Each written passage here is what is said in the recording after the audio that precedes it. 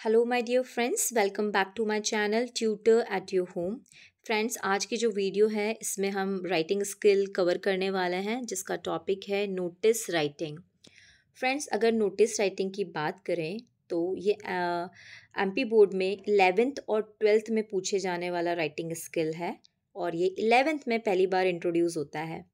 है ना? अगर मैं सीबीएसई की बात करूँ, अगर सीबीएसई के बच्चे इस वीडियो को देख रहे हैं तो सीबीएसई में ये जो नोटिस राइटिंग है, ये टेंथ क्लास में ही इंट्रोड्यूस हो जाता है और इलेवेंथ और ट्वेल्थ में भी आपको पूछा जाता है। लेकिन अगर टेंथ की बात करें तो ये फाइव नंबर में पूछा जाता है और इलेवेंथ और ट्वेल्थ में जो है, ये फोर नंबर में पूछा जाता है। और एमपी बोर्ड में भी ये इलेवन ट्वेल्थ में फोर नंबर में ही पूछा जाता है। अब इसकी मार्किंग स्कीम क्या रहती है? नोटिस राइटिंग क्या है? नोटिस राइटिंग का फॉर्मेट क्या रहता है? ये सब कुछ आज के वीडियो में हम डिस्कस करने वाले हैं। You won't believe friends notice writing सबसे आसान होता है लिखना। और बहुत आसानी से आप पाँच या चार नंबर गेन सकते हैं एग्ज़ाम में गेन कर सकते हैं एग्ज़ाम में। तो फिर चलिए स्टार्ट करते हैं नोटिस राइटिंग देखिए नोटिस राइटिंग क्या है? एक फॉर्मल पीस ऑफ़ इन्फॉर्मेशन है है ना? एक इन्फॉर्मेशन है, ये एक तरह का सूचना पत्र है, इसके अंदर सूचनाएँ दी जाती है किसी भी एक्टिविटी के या इवेंट के बारे में, है ना? किसी भी स्पेसिफिक ग्रुप को। स्पेसिफिक ग्रुप इसलिए बोला है क्योंकि ये वेरी कर सकती है इंस्टीट्यूट से इंस्टीट्यूट स्कूल टू स्कूल है ना? अगर आप किसी स्कूल में पढ़ रहे हैं तो वहाँ भी नोटिस निकल सकता है, लेकिन ज़रूरी नहीं है वो सारे ही स्कूल्स के लिए हो। वो सिर्फ़ उसी स्कूल के लिए होगा जिस स्कूल में आप पढ़ रहे होंगे। वैसे ही अगर आप किसी बैंक में जॉब कर रहे हैं, किसी कंपनी में जॉब कर रहे हैं, अगर वहाँ ये सूचना पत्र निकलता है, नोटिस निकलता है तो वो उन्हीं लोगों के लिए होगा, है ना? इसलिए यहाँ पर ऐसा लिखा है स्पेसिफिक ग्रुप ऑफ़ पीपल अब so that people get message ताकि लोगों को मैसेज मिल सके आसानी से और इसके अकॉर्डिंग लोग अपना काम कर सकें। It is usually put up in a public place देखो पब्लिक प्लेस पे लगाने वाली चीज़ होती है ये। नॉर्मली जब नोटिस निकलता है तो इसको बुलेटिन बोर्ड पे लगा दिया जाता है हर इंस्टीट्यूट के बाहर, या स्कूल के बाहर नोटिस बोर्ड होता है, या बैंक के बाहर भी होता है, या किसी कंपनी के बाहर गेट की तरफ़ होता है नोटिस बोर्ड देखिए, आजकल तो डिजिटल प्लेटफॉर्म हो गया है तो नोटिस बहुत आसानी से कहीं पर भी शेयर किया जा सकता है है ना? अब तो रेयरली ही हमको ज़रूरत पड़ती है कि हम इसको बुलेटिन बोर्ड पे लगाएँ या वहाँ जाकर शो करें, बट फिर भी हम नोटिस राइटिंग हमें लिखना आना चाहिए, पता होना चाहिए, इन फ्यूचर कभी आपको नोटिस बनाना पड़े किसी के लिए तो आप कैसे बनाएँगे ना? तो उसी के लिए ये प्रिपरेशन है। अब देखिए, जब आप नोटिस लिखेंगे तो इसकी लैंग्वेज होगी ना, बहुत सिंपल होगी और बहुत ही फॉर्मल होगी। सिंपल क्यों होगी? क्योंकि हमको बहुत सारे लोगों को टारगेट करना है इसके में, है ना? तो जब आपकी अगर लैंग्वेज सिंपल होगी तो ज़्यादा से ज़्यादा लोग इसको समझ सकेंगे।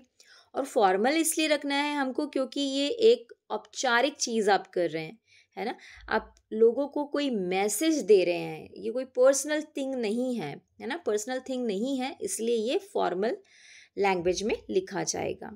अब ये नोटिस जो होगा वो हमेशा ब्रीफ होगा ब्रीफ मतलब छोटा, ज़्यादा लंबा नहीं लिखेंगे और टू द पॉइंट होगा, ठीक है? टू द पॉइंट जो इंपॉर्टेंट बातें हैं, हम वही इसके अंदर लिखेंगे, और कोई बात हम नहीं लिखेंगे इसके अंदर।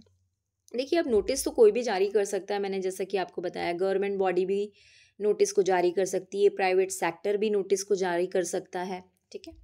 अब देखिए, यहाँ पर कुछ टिप्स दी हैं मैंने, ये टिप्स तो आप पढ़ ही लीजिए, मैं एक्सप्लेन भी कर देती हूँ, इसके बाद हम जल्दी से फॉर्मेट पे आ जाएँगे कि क्या फॉर्मेट रहेगा हमारा नोटिस राइटिंग का। सबसे पहले तो ये पचास शब्दों में लिखा जाता है है ना? ठीक? पचास शब्दों में लिखा जाएगा, लिमिटेड वर्ड्स ही हम यूज़ करेंगे इसके अंदर।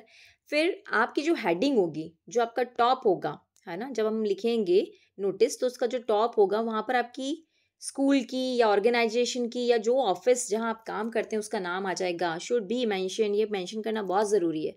तभी तो पता चलेगा कि भाई इस स्कूल का नोटिस है, बैंक का नोटिस है, या कोई कंपनी का नोटिस है तो ये मैंशन करना बहुत ज़रूरी है। उसके बाद उसके नीचे आप क्या लिख देंगे? बोल्ड लेटर में क्या लिखेंगे? Notice word. ये वर्ड लिखा होना चाहिए उस हेडिंग के नीचे, नोटिस। बड़े बड़े अक्षरों में, है ना? बड़े अक्षर मतलब बोल्ड लेटर अब ये बोल्ड लेटर के बोल्ड लेटर क्या है? A B C D capital letter जो होती है ना आई नो आपको पता है कैपिटल लेटर क्या होता है, लेकिन बहुत सी बार मैंने देखा है, जब फॉर्म भरने की बारी आती है, कोई एग्ज़ाम फॉर्म भर रहे होते हो, वहाँ लिखा होता है बोल्ड लेटर तो आप कन्फ्यूज़ हो जाते हो। बोल्ड लेटर का मतलब होता है कैपिटल लेटर में लिखना।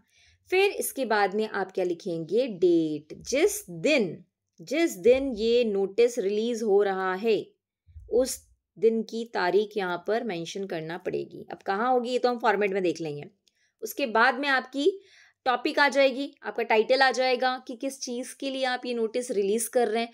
अब देखिए डिपेंड करेगा एग्ज़ाम में आने वाले क्वेश्चन पर कि एग्ज़ाम में क्या क्वेश्चन पूछा है। क्या आपको ये पूछा है कि चेंज इन स्कूल टाइमिंग क्या ये पूछा है कि हमारी बॉट मतलब देखिए, अगर आप नोटिस बना रहे हैं ना तो नोटिस भी अलग अलग तरीके के होते हैं। इवेंट वाले भी होते हैं, जिसके आप इवेंट के बारे में बता रहे हैं कि कोई इवेंट ऑर्गेनाइज होने वाला है। कोई कंपटीशन के बारे में भी हो सकता है। कोई चीज़ आपकी खो गई है तो आप नोटिस निकाल सकते हैं। कोई चीज़ आपको मिली है, तब भी आप नोटिस निकाल सकते हैं, ठीक है? तो जो भी टॉपिक है आपका, वो क्लियर होना चाहिए। It should be very catchy, है ना? बहुत आई कैचिंग होना चाहिए, वहाँ से समझ में आ जाना चाहिए, आप किस बारे में लिखने वाले हैं। फिर आप क्लियरली मेंशन करेंगे आपका पर्पस क्यों आप लिख रहे हैं नोटिस क्या रीज़न है लिखने का? ये किसको डायरेक्टेड है?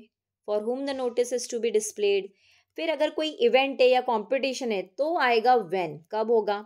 हाउ कैसे होगा? वेयर कहाँ पर होगा? ये सारी डिटेलिंग आप करेंगे।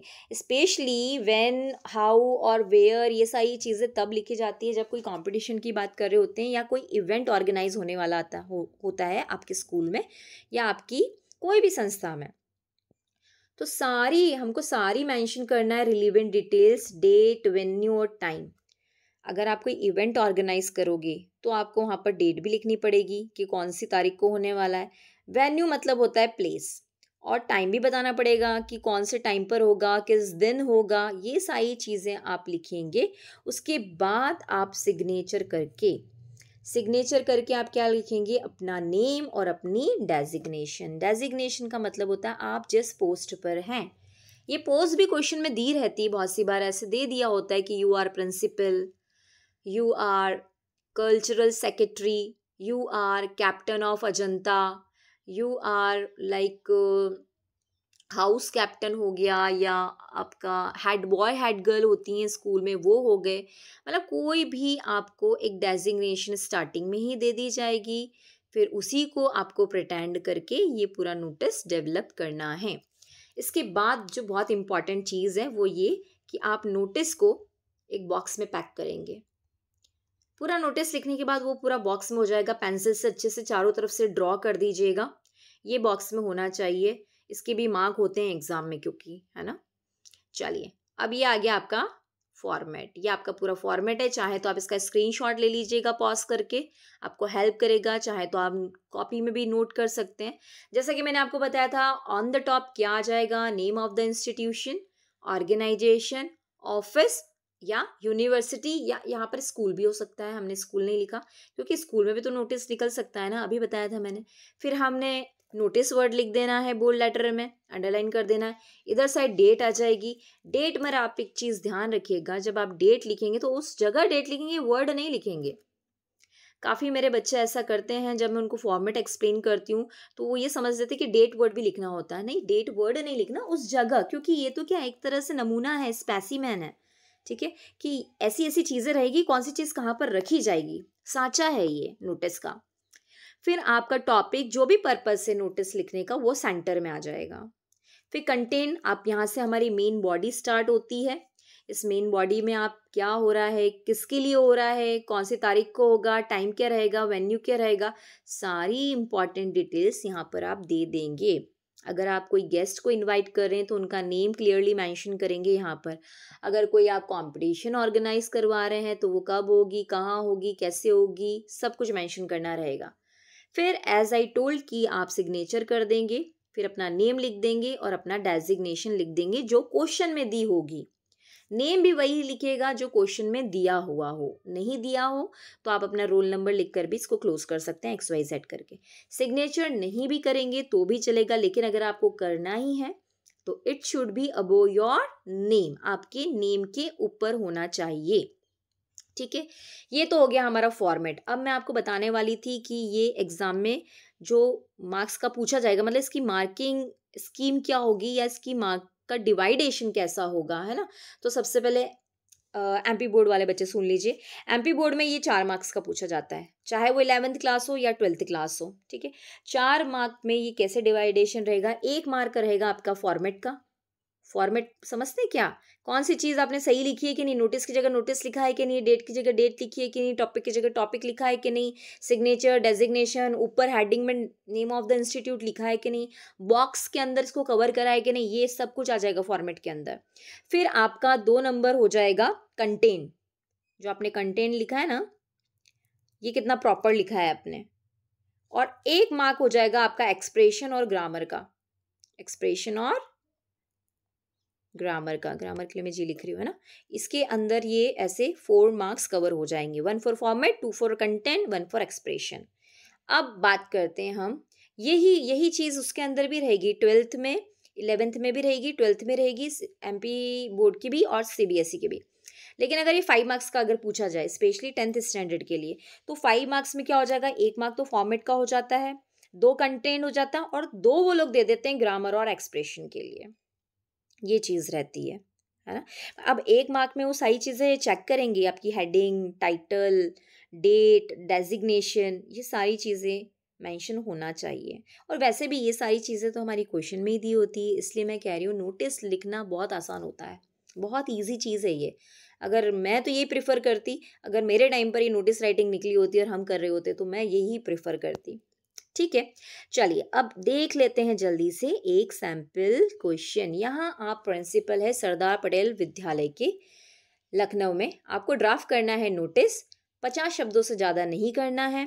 जिसके अंदर आप ये बता रहे कि change in school timing with effect from the first of November state valid reason for the change मतलब आप स्कूल का टाइम चेंज कर रहे हैं फ़र्स्ट नवंबर से। उसका वैलिड रीजन भी दीजिए।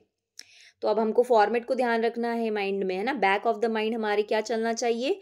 फॉर्मेट चलना चाहिए, है ना? अभी मैंने ऊपर बताया तो फॉर्मेट के अकॉर्डिंग सबसे ऊपर क्या था? हेडिंग थी। आपके स्कूल का नाम आ गया। फिर नोटिस वर्ड आ गया। लेफ़्ट हैंड साइड पे जिस दिन आप निकालोगे, यहाँ तो मैंने ऐसी फॉर एग्ज़ाम्पल के तौर पे लिख दिया, लेकिन जिस दिन निकलेगा, उस दिन की डेट आ जाएगी। फिर टॉपिक क्या था हमारा कि चेंज इन स्कूल टाइमिंग और आप प्रिंसिपल है आपने लिख दिया सभी बच्चों को डायरेक्टेड करते हुए ऑल स्टूडेंट्स ऑल क्यों लिखा है भाई? एक बच्चे के लिए तो स्कूल का टाइम चेंज नहीं होगा, सभी के लिए ये तो इसलिए ऑल वर्ड यूज़ किया है। All students are hereby informed about a change in school timings from first November two thousand twenty three यहाँ पर मतलब निर्देश दे रहे हैं कि स्कूल का जो टाइम है वो चेंज होने वाला है फ़र्स्ट नवंबर से। The school will now start at eleven AM and end at three P M school कितने बजे स्टार्ट होगा? इलेवन एम स्टार्ट होगा और थ्री पी एम पर क्लोज हो जाएगा। अब ऐसा क्यों हो रहा है? आगे वाले सेक्शन में वो यही बता रहे हैं। In past few years it has been seen that winters are rather severe and it becomes quite difficult to start early due to the extreme cold weather and the dense fog देखिए, उन्होंने reason बता दिया कि last few years में क्या है कि winter बहुत ज़्यादा हार्श बहुत ज़्यादा सीवियर होता जा रहा है और डिफ़िकल्ट हो जाता है मॉर्निंग में उठना। क्योंकि एक्सट्रीम कोल्ड रहती है फॉग रहता है आप ड्राइव नहीं कर पाते। सो so, इसी वजह से स्कूल का टाइम चेंज हो रहा है। फिर लास्ट में एक लाइन और जोड़ देते हैं। So the new timings will be followed इसीलिए नया टाइम फॉलो किया जाएगा। टिल फर्दर नोटिस मतलब मतलब नेक्स्ट कोई इन्फॉर्मेशन ना मिले तब तक के लिए। क्योंकि ये प्रिंसिपल ने लिखा है प्रिंसिपल ने अपना डेजिग्नेशन यहाँ पर मेंशन कर दिया कि प्रिंसिपल ने ये लेटर निकाला है। प्रिंसिपल चाहे तो वहाँ पर साइन भी कर सकते हैं, है ना? चलिए, ये हो गया आपका एक नोटिस अब एक प्रैक्टिस नोटिस और देख लीजिए। और ये दोनों आप चाहें तो लिख भी सकते हैं अपनी कॉपी में।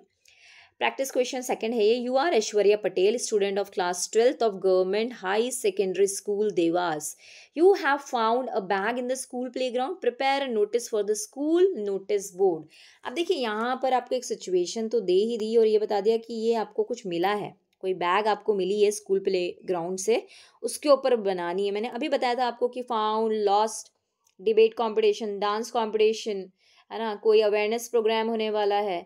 इन सबसे रिलेटेड बन सकता है। एग्जीबिशन है, उससे रिलेटेड भी नोटिस बन सकता है। चलिए, देख लेते हैं इसको। तो टॉप पे हेडिंग पे हमने क्या दे दिया? हमारे स्कूल का नाम। फिर वर्ड नोटिस लिख दिया। फिर हमने साइड में डेट डाल दी।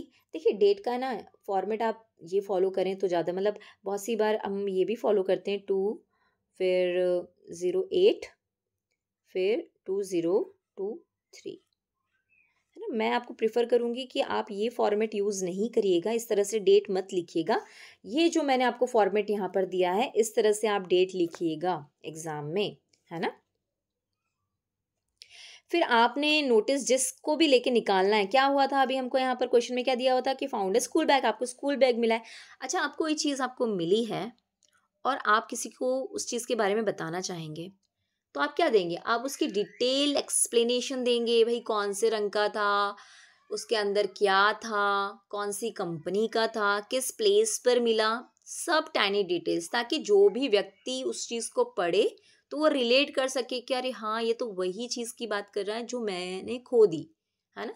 या आप लॉस्ट कर रहे हैं, अगर आपसे कोई अपनी चीज़ खो गई है तो आप भी अच्छे से स्पेसिफाई करें, ताकि वो अगर किसी और को मिले तो भी रिलेट कर सके कि अच्छा इसने जो चीज़ें बताई हैं यही चीज़ इस चीज़ से मैच खाती हैं। सो so, यहाँ पर सारी डिटेल्स आप अच्छे से फॉलो करना है ना? This is to inform all the students of our school that red colour school bag has been found from the school playground उसने बता दिया भैया मुझे मतलब मैं सारे बच्चों को इन्फॉर्म कर रहा हूँ कि भाई मुझे एक रेड कलर का क्या मिला है? बैग मिला है। और कहाँ से मिला है? स्कूल प्ले ग्राउंड से. अब देखो ये वेयर बताना क्यों ज़रूरी था?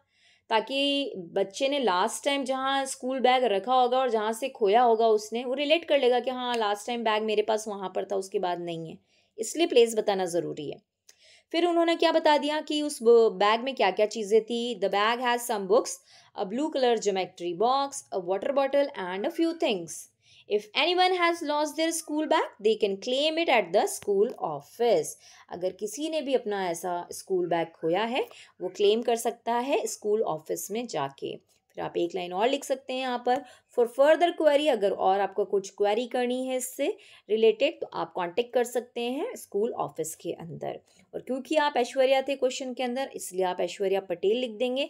आपका डेजिग्नेशन वगैरह कुछ नहीं दे रखा था सिंपली ये लिखा हुआ था कि आप क्लास ट्वेल्थ में पढ़ते हैं।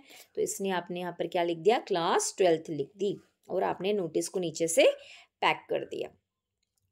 तो भाई ये हो गया आपका पूरा नोटिस है ना? यहाँ पर आपकी नोटिस राइटिंग पूरी कंप्लीट हो गई है। इस तरह से नोटिस एग्ज़ाम में आपको लिखना है। सारी चीज़ों को फॉलो करनी है। जो मैंने आपको टिप्स बताई हैं, उसको आप फॉलो करिएगा कि फिफ्टी वर्ड्स में लिखा जाता है। आपकी प्रॉपर हेडिंग होनी चाहिए। फिर आपका नोटिस वर्ड लिखा होना चाहिए। फिर लेफ़्ट हैंड साइड पे डेट लिखी होनी चाहिए। सेंटर में आप जिस वजह से नोटिस रिलीज़ कर रहे हैं, वो टॉपिक वहाँ पर लिखा होना चाहिए। फिर आपका कंटेन में आ जाएगा what for whom when where how ये सारी डिटेल्स आ जाएँगी। दैन फिर आप इसको क्लोज करेंगे वाइंड अप करेंगे अपनी नेम और अपनी डेजिग्नेशन के साथ।